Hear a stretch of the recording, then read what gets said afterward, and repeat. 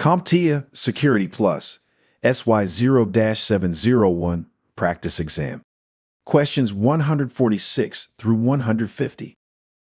This video is part of our practice exam video series and is filled with questions that closely resemble the real exam. So are you prepared to test your knowledge? Great, let's begin. Question 146. A security team is reviewing a software application's behavior during runtime to observe how it interacts with system resources, network connections, and memory. Which of the following techniques are they most likely using?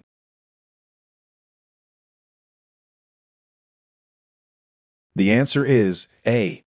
Dynamic analysis. Dynamic analysis is the process of evaluating an application while it is running to detect vulnerabilities or unexpected behaviors. This method allows analysts to monitor the actual execution flow, including real-time interactions with the operating system and network. It is particularly useful for identifying runtime errors, memory leaks, or malicious behavior that might not be visible through static analysis alone. Question 147.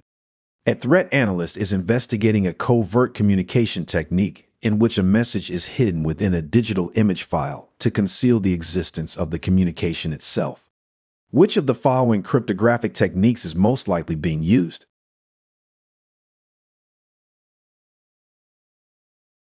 The answer is D. Steganography.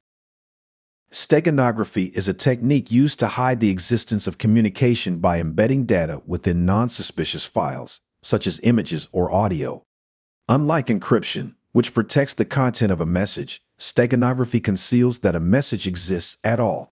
This makes it a useful tool for covert communication or data exfiltration that avoids detection. Question 148. Which of the following describes an attack in which a malicious actor registers a website address that closely resembles a legitimate domain, often using character substitutions or common misspellings to trick users?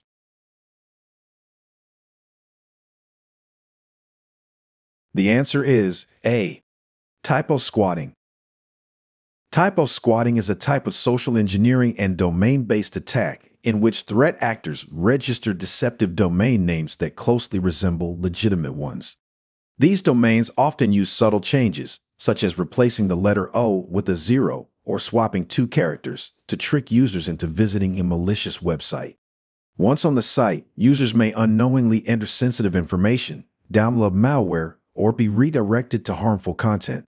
Typo squatting takes advantage of human error and is often used to impersonate well-known brands or services. Question 149. A data protection method used by a company involves replacing sensitive data with surrogate values that retain the same format but have no exploitable meaning. What is this technique called?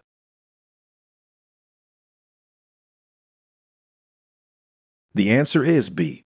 Tokenization. Tokenization is a technique that protects sensitive information by replacing it with surrogate values that preserve the original format but hold no real meaning. The actual data is stored securely elsewhere and can only be retrieved through a secure lookup process.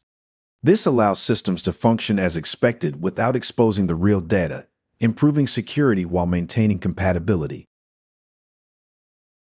Question 150. A systems administrator needs to adjust which users and groups can read or modify a specific file. Which of the following would best allow the administrator to fine-tune these permissions?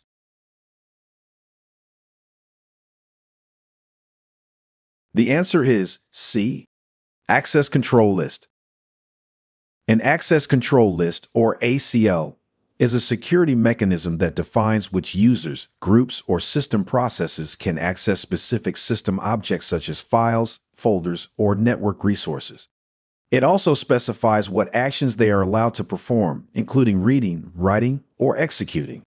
By using ACLs, administrators can fine-tune access by assigning highly specific permissions that align with each user's role or responsibility. So, did any of these questions give you a tough time? Don't worry if they did. It's all part of the learning process. Luckily, Certification Cynergy has a wealth of free video content at your disposal. To stay connected with our latest IT learning resources, just give a quick click on the subscribe button. This simple action ensures you are always updated about our newest video releases.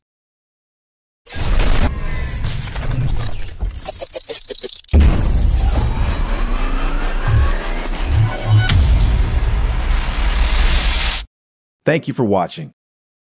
Subscribe for more great content.